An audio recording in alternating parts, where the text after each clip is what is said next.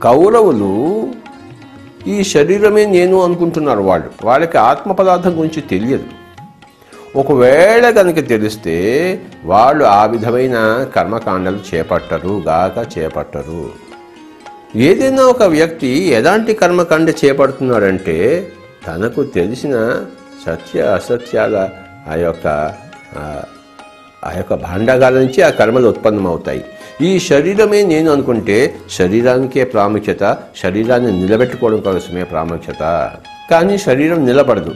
అందుకే రకరకాలుగా మనం ఆ శరీరానికి ప్రాముఖ్యత ఇస్తూ శరీరాన్ని నిలబెట్టుకోవడానికి ప్రయత్నాలు చేస్తూ ఈ శరీరమే నేను అనుకున్న దాన్ని అంటే ఈ ఈ యొక్క అనిత్యమైన వస్తువే నేను అనుకుంటే అంటే నువ్వు అసత్యమైన వస్తువుతో తాదాత్మ్యం చెంది ఉన్నావు అనమాట కనుక ఎప్పుడైతే నీకు అసత్యం ఉందో నీకు అపజయం తప్పదు.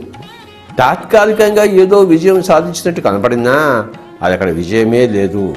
ఎలాగైతే మరో మరీచిక ఒక ఎండమావులు అనమాట ఒక ఎడారిలో మనకి ఎక్కడో దూరంగా నీళ్ళు ఉన్నట్టు కనబడుతుంది.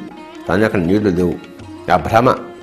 అనిత్యంలో జీవించే వాడికి నేనేదో జ- జయంలో ఉన్నాను అనుకునే భ్రమ తప్ప నిజమైన జయం ఎక్కడా లేదు. అనిత్యంలో అసత్యంలో ఉండజాలదు.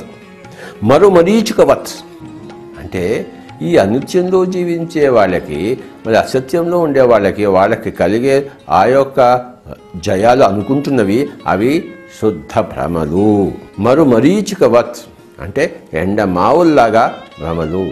అక్కడ మనకి నీరు కనపడుతుంటుంది ఇలా ఇలా అలలలో కనపడుతుంటాయి. కానీ అక్కడ పోతే అక్కడ నీరు లేనే లేదు అంతా ఇసుకే ఎడారే.